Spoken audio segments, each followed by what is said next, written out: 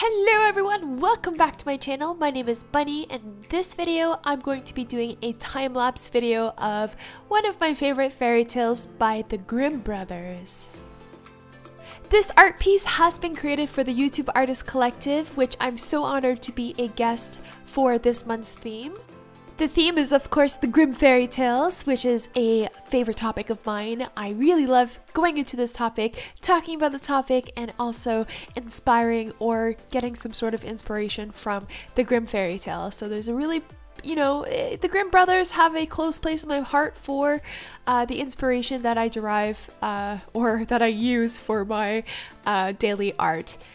Now before we get into the specifics of what I am currently drawing in this video and why I'm drawing it, I just want to kind of apologize and kind of give you guys a warning that I am extremely tired. So if I slur my English words, that's probably because it's late at night, I'm recording this late at night, and I'm actually about to head out for a road trip down to Bavaria uh, uh, quite early in the morning and we're going castle sightseeing and yeah just going to be with family. So i'm trying to get this done before that and i had a long day of work. So i do apologize if i do sound a little bit uh tired i guess that's the right word but never mind my lack of sleep, let's get to the drawing. So for this theme, it was the Grimm Fairy Tales, and actually I I, I just I just didn't really know which fairy tale to draw. Uh, in the past, I have drawn Snow White, I have drawn Little Red Riding Hood, I've drawn other various things. I was even thinking of drawing Hansel and Gretel, uh, but I figured, okay, something, I kind of want to play around with a full body position. I want to play around with floral things because I really like coloring floral things. And I figured that Sleeping Beauty would be a really great fairy tale to practice this on and to basically take for this theme. Now, the story of Sleeping Beauty is an interesting one. You guys are probably familiar with the Disney adaptation. However, I just want to kind of get into the historical aspects of this tale because it is quite interesting and I just really like talking about history. Basically, the tale goes as follows There's a beautiful and young princess who was basically cursed with a sleeping enchantment from an evil and probably really uh, ugly looking witch and she was cursed with a sleeping enchantment and at the age of 16 she would eventually prick her finger. Once she pricks her finger that the curse is basically sort of uh, enabled or activated and she falls into a deep sleep. And the only way that she could wake up a hundred years later is to get kissed by a handsome prince. Go figure now, what's really interesting is that the Tale of Sleeping Beauty can actually be dated further back than the 1812 adaptation from the Grimm brothers. It was actually originally written down by the author Charles Perrault from Paris, and this was during the time of 1697. Now, this Charles guy, similar to the Grimm brothers, what he did back in the day was actually take these old fairy tales and these folk stories and actually write them down for the very first time and publish them for the first time. So, from what I understand, these fairy tales were not original works of art from himself, it was more so taking um, really old folk tales and sort of rewriting them and publishing them. Apart from publishing Sleeping Beauty, which in French was called La Belle au Bois dormant, The Beauty in the Sleeping Wood, he also ended up publishing The Little Red Riding Hood, Cinderella, Puss in Boots, and Bluebeard. Now you're probably wondering, hmm, what about the Brothers Grimm? Well, the reason why I'm talking about Charles' work is actually because his version had in fact influenced the German version that was published by the Brothers Grimm in 1812.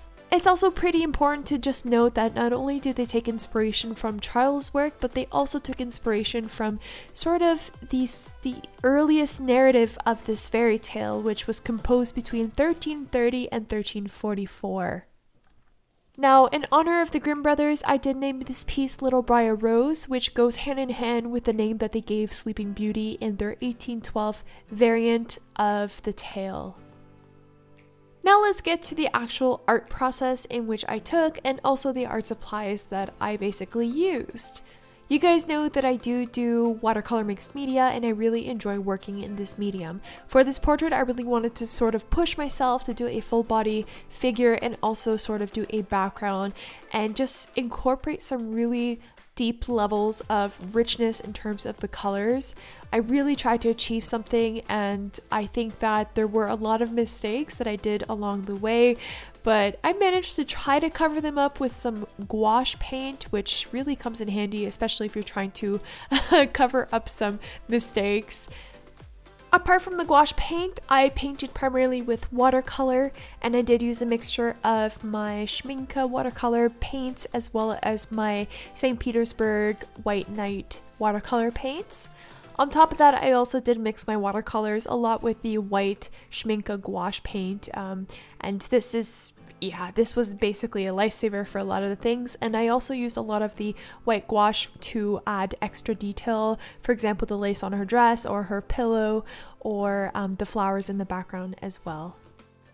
For blending the skin tones as well as the shadows on her dress and in her hair, I did use a lot of the Caran D'Ache Luminance pencils together with the Faber-Castell Polychromos and it's basically just working with layers and layering on top of the watercolor and maybe adding more watercolor and then layering again with the luminance pencils. But together, I really have to say, together with the luminance pencils and the Faber-Castell Polychromos, they work really seamlessly and I can create a really good smooth creamy blend for the skin tones. Apart from really working with all of these materials and blending them together and layering them together, I also started working with something that's a little bit new. I did use it in one of my last, I think it was in one of my last videos. Um, actually was my favorites, my October favorites video. So if you guys haven't checked that out, do check it out. I do talk about this product, which is basically called the Aqua Bronze. Uh, it's sort of like a glittery paint that you mix with water or I should say it's more of a glittery powder that you mix in with water and then you can add on top of your paper. And it looks like a beautiful, glimmery, metallic sort of embellishment. It really looks really nice. And for this one, I did use the copper color, which worked really nice because it's sort of a, it, it kind of has a pinkish tone to it. And I added this sort of bronze or this copper colored um, glittery paint to some designs on her dress and also on her pillow and also in between of the flowers. So really adds another aspect, another texture, and just looks really pretty when it shines in the light. As always, you guys can find all of the links down below my video description of the materials that I used. As a conclusion to this video, I just want to thank the YouTube Artist Collective for allowing me to be a guest for this month's theme. I really, really enjoyed it and it was a lot of fun and I'm looking forward to doing a lot more of the themes for uh, 2018. Uh, as a guest or as an unofficial person, I whatever, I don't care. It's just gonna be fun regardless. So I hope you guys really like this these types of videos and I'm looking forward to what the future will bring. On a side note, I just have to mention my live stream. So I haven't been live streaming as of late. I've been super busy at work. Uh, it's sort of a hot phase right now at work. And for the next two, three weeks, it's to be constantly busy and I really just don't have the energy to live stream after work and on the weekends because I do have to do a lot of uh, other stuff in terms of making paintings and making videos so live streaming really takes a long time. I'm thinking that I will officially start my live streaming schedule in December once again at the very beginning of December. So November uh, is going to be kind of an out month for me and then December we're going to kickstart it all off once more. So thanks so much for watching this video. I hope you did enjoy it. Please give it a big thumbs up and check out my Etsy page. This piece will be on sale on my Etsy page. So all the links you can find down below. Also, don't forget to check out my social media links, Facebook and Instagram. I do post on a regular basis my sort of paintings and my updates and some daily drawings. So do check it out for there and I will be eternally grateful. So thanks so much for watching and I wish you guys all a lovely, lovely weekend. Bye!